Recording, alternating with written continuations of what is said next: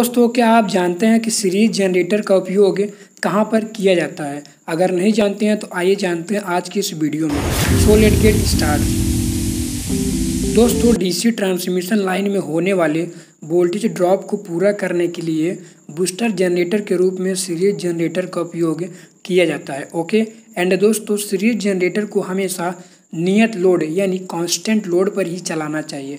क्योंकि दोस्तों, जब लोड का परिवर्तन होता है जनरेटर में, तब सीरीज़ जनरेटर का टर्मिनल वोल्टेज भी परिवर्तित हो जाता है। और फिर सीरीज़ जनरेटर इस कंडीशन में संट जनरेटर के सामान्य कार्य करने लगता है। ओके? तो दोस्तों, अगर यह वीडियो आपको नॉलेजेबल लगी हो तो वीडियो को लाइक एंड चैनल को सब्सक्राइब ज़रूर करें।